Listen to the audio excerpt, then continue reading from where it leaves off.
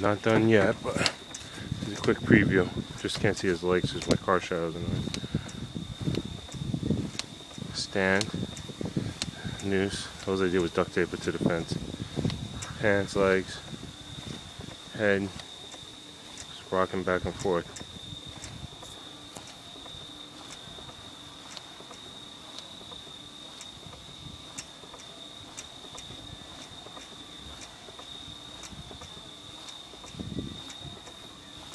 I think it looks pretty cool.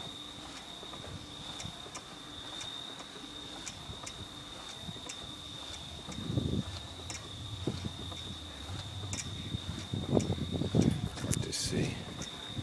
Just gotta finish his feet.